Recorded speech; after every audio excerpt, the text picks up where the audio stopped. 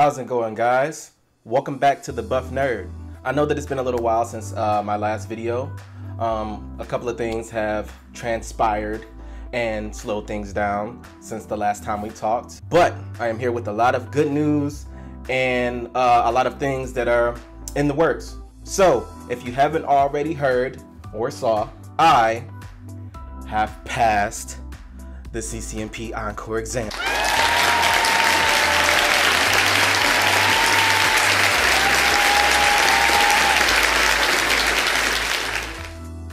For the newbies, what is the CCNP ENCOR exam? So, if you're not already familiar, I have a range of certifications that help me get to this role as a network engineer. One of those certs is the CCNA, which is the Cisco Certified Network Associate Certification. This is uh, one of the first certifications you can get to really align yourself and you know really dive down that networking path in order to become either a network admin or a network engineer if you're good enough. The CCNP is the professional level certification of the CCNA.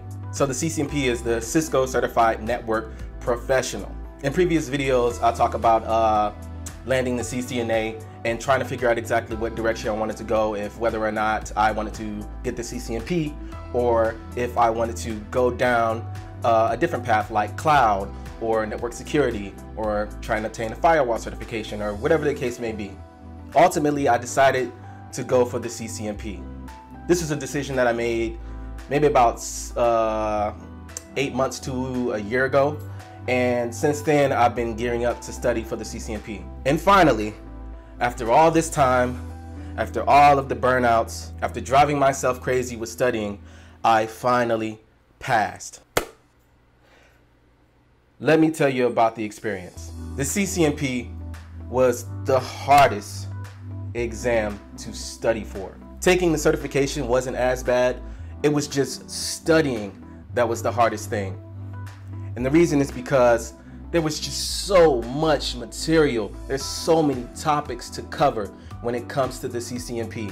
There's infrastructure, architecture, virtualization, network assurance, and just a range of different topics, protocols, and standards that you have to understand in order to be geared up enough to take the certification. Before I talk about the score that I achieved when taking the certification. I'm just going to talk about the method to the madness when it came to studying for it because that is the most important and the most difficult part of taking the CCNP exam. The certification will be easy, but you have to make sure you know this material first. So, what I used to study for the CCNP. First, I used the CCNP official cert guide just to, you know, have a reference when it came to, you know, a book that I can go and get additional information on some topics that were a little hard to, uh, you know, a little hard to wrap my head around. And, you know, just to fill in the gaps, of course. But outside of that, I use the website CBT Nuggets, and uh, they have a video series on the CCNP, which is extremely long, which was a which was a very good thing. But at the same time, it was just just intense, man. There were so many topics, and there was maybe about 50 hours, if I'm not mistaken, of material and labbing that you know I had to do when it came to studying for the CCNP, which is primarily why it took me uh, about a year in order to get prepped enough to take the certification.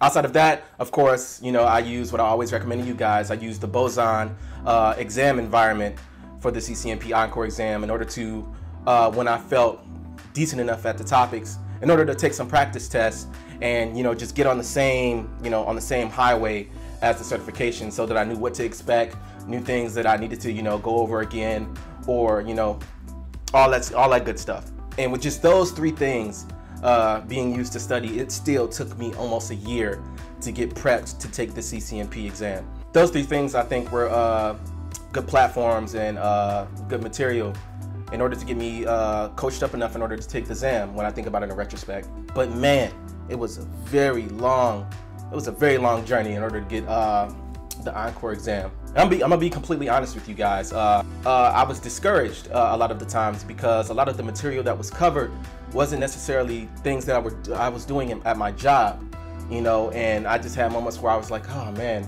you know, am I really gonna use all this information or, you know, is this going to be beneficial, excuse me, uh, when it comes to seeking jobs or, you know, are they gonna ask about this? When it comes to interviews like when when exactly am i going to use all this information you know that's one of the things that was constantly in the back of my head because, like I said, a lot of things that were covered, it's not stuff that I was doing at work. Now, Cisco SD-WAN is something that's going to be flourishing within the next couple of years, but you know, me still trying to figure out exactly how I'm trying to angle my uh, IT career, you know, I just had moments where I was just, you know, a little on the fence on if I wanted to keep going down this path or if I wanted to pivot towards something else. Like I said, there were so many topics and so many things that were being talked about while I was studying for the exam, which was great information when it comes to like that uh, tier two, tier three level as a network engineer, you know, of course, depending on the company. But, you know, me being still very early in my career, you know, I just had, you know, just those moments of, you know, like just being at the fork in the road and trying to figure out exactly which way I was gonna go, which is, you know, something I think that everybody goes through, you know. But anyways, let's get on to the exam. So the CCNP exam was a beast. Testing for it was relatively the same uh, as it was with the CCNA. You get two hours and about 100 questions that you have to answer uh, before completing the exam. There's no simulations, there's no labbing during the exam. Uh, the majority of it is uh, multiple choice.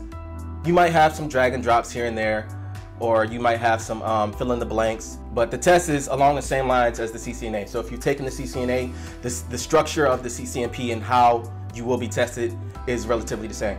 Just like the CCNA, uh, the two hours was very long. Me, personally, I used the entire two hours in order to take the certification. Um, I know some people just fly through it, they get done maybe 30 minutes early but you know i was really trying to pay attention to what i was doing and make sure that i got you know a thorough understanding of the question prior to answering them. As far as the exam topics uh, they covered the exam topics fairly evenly. They had a good mix of uh, architectural questions and virtualization questions. Uh, they didn't really lean any direction when it came to you know you know anything being talked about more than the other or anything along those lines. I think that everything was covered uh, pretty evenly.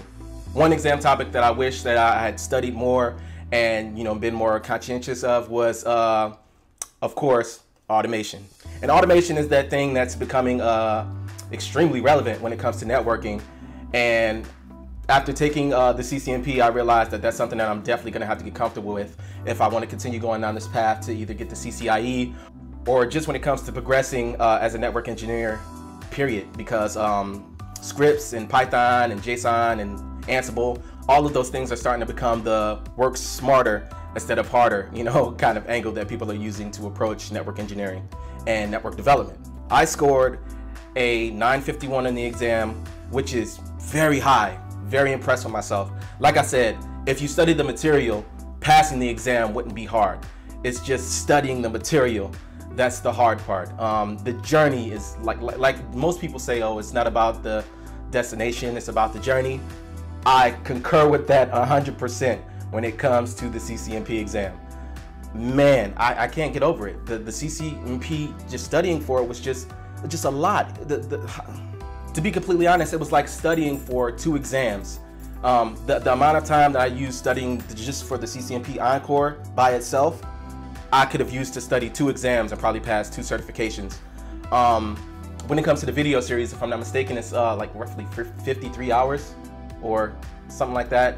When it comes to the C C uh, CBT Nuggets uh, video series, and the uh, specialties when it comes to the CCNP are about half the time. Um, I've seen maybe like 25 hours of videos or um, 28 or something along those lines. Long story short, the point is um, the CCNP ENCOR exam covers all of the core topics. Everything that you need to know prior to getting that specialty certification, like advanced routing or wireless uh, solutions or automation or whatever angle you want to go. After finishing the CCNP, I was completely burnt out.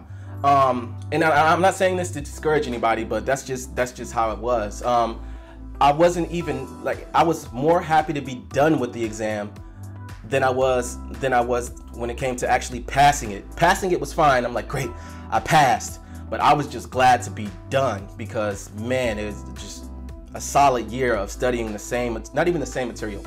It's just a solid year of studying, you know, one book and one video series that kind of just took a toll on me, man. I was so burnt out after I took the exam. Um, that's why it took so long for me to make this video because it was just so much, man, and it just wore me out so bad. And on top of that, shortly after taking the exam, I got COVID. So on top of being burnt out, I was out of commission for 10 days because um, I don't know how I managed to get it, but um, I managed to uh, get exposed to COVID and catch it. That's a, a whole nother story, man. Whew, Lord have mercy. That was hard to deal with. While I was sick, I was trying to figure out the next avenue I was going to take when it came to my career. And um, just, you know, getting on the web and surfing the internet, talking to a couple of people that I consider mentors, and just trying to get an angle on exactly, you know, what's in demand when it comes to network engineers as far as specialties is concerned. I found out that uh, some of the things that companies are looking for that a lot of people don't really kind of focus on is, you know, network engineers that specialize in firewalls and wireless, which prompted the question that I asked uh, a few weeks back, if whether or not when it came to specializing with the CCNP, if you would go the wireless route. That's one of those certs that not a lot of people focus on. I don't even think there's any video series on uh, the CCNP wireless right now. Um, hmm. But yeah, one thing I was debating on um, after getting over COVID is which direction I was going to go down. And uh, after doing some research and after seeing, you know, the kind of material that was available when it came to studying for either wireless or, you know, focusing on firewalls, I decided to focus on firewalls. So recently I just brought a, a Dell PowerEdge uh, R620 uh, server and I've been doing a lot of work in order to try to get it set up so that I could do some labs. The next video will be talking about that. But before we go into all of that, the CCNP. Shortly after obtaining the CCNP, um, I wanted to ask myself, was it worth it? And that is a hard question to answer right now. Like I said, it's still very early and it's not exactly the CCNP yet. It's only half of the CCNP. Um, I managed to talk to a couple of people and, you know, you know, get in the ear of a couple of engineers and, you know, ask if the CCNP was a good certification to get when it came to trying to obtain jobs. And I got a bunch of yes and no's, primarily because I told you about them, you know, wanting people that specialize in wireless or network security. So it's a little too early to tell if whether or not this certification is worth it yet. What I recommend for someone who has the CCNA if they should get the CCNP it's still too early to answer that as well. I will say that I've been reached out to quite a lot by recruiters uh, when it came to you know different job roles and things along those lines. But you know, it's weird. I, I, get a lot of weird job offerings. They ask for like senior senior network engineer. Oh, you know, I need somebody with 10 years of experience. And I'm like, I just became a network engineer a few months ago. But yeah, like you know, once you once you get the CCNP on your resume, those are the kind of people that reach out to you. Um, I haven't really had a chance to explore that side of things yet, but um, that's something that will definitely be in the works over the course of the next few months or so. You know, but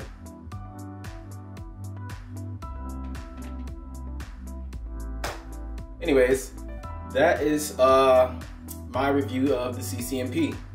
But if you do stick with it and you go into the dungeon to battle the beast, with all the studying and labbing that you put in, you will likely come out on top. One thing that I also uh, wanted to mention is that um, uh, when it came to studying for this certification, um, there wasn't a lot of labbing that helped. When it came for when it came to studying for this uh, particular certification, um, I noticed that none of the labs that I was doing really helped. Um, a lot of these topics were things that were, you know, way above the likes of Packet Tracer, and you know, uh, uh, a lot of the things that, a lot of the topics that were covered in this particular uh, certification wasn't things that I can simulate in a program like that. Which is one of the reasons why I decided to purchase uh, the Dell server because I was going to try and see if I could potentially get my hands on some VMs that would simulate, you know, uh, wireless LAN controllers, you know, potentially SD-WAN. I'm not sure. I haven't really ventured down that avenue yet, but that's definitely something that I wanted to mention when it came to, you know, this particular certification. Me personally speaking, uh, labbing maybe helped about 15 to 20% of the time. Uh, outside of that, it was more, you know, just do you know this, do you know that? You know, have you read about this? What happens when you do this? And things along those lines. All I got for you guys today. In the meantime, stay safe, stay positive, learn everything, do some networking, and pick things up and put them down.